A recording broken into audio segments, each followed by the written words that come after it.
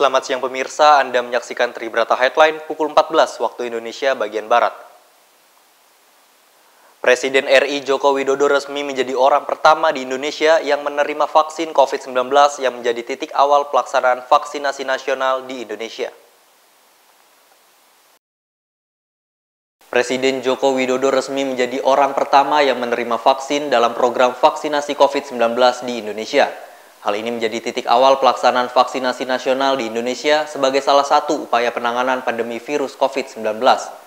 Selain Presiden, sejumlah tokoh negara di istana juga menerima vaksin. Sebelum disuntikan vaksin, kepala negara terlebih dahulu melakukan pendaftaran dan penapisan kesehatan, antara lain pengukuran suhu tubuh dan tekanan darah.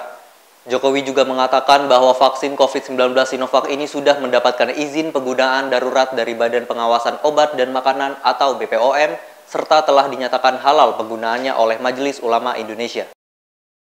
Ya, ada sedikit rasa takut karena saya juga melihat kan beliau agak apa eh, Prof Abdul Muthalibnya agak agak gemetar sedikit jadi apa mungkin ini karena juga vaksin pertama kali dan mungkin juga yang disuntik presiden apalagi mungkin juga ini disiarkan secara langsung di TV-TV jadi mungkin beliau Prof uh, Dr. Abdul Muthalib mungkin sedikit agak agak gemetar dan saya lihat memang saya lihat tapi tapi ini tapi uh, beliau ini kan dokter yang uh, sudah sangat berpengalaman dan handal jadi waktu disuntik tadi enggak tidak terasa sakit sama sekali.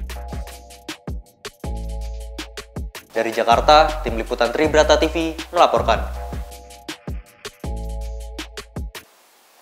Presiden RI Joko Widodo telah mengajukan satu nama atau calon tunggal Kapolri untuk menggantikan Jenderal Polisi Idam Aziz yang tak lama lagi akan memasuki masa pensiun. Polri mendukung penuh usulan Presiden Joko Widodo yang telah mengajukan nama Kabareskrim Polri, Komjen Pol Listio Sigit Prabowo sebagai calon tunggal Kapolri untuk menggantikan Jenderal Polisi Idam Aziz. Kadif Humas Polri Irjen Pol Argo Yuwono mengatakan bahwa penunjukan Komjen Pol Listio Sigit Prabowo tersebut membuktikan bahwa kabar eskrim memang merupakan putra terbaik Bayangkara.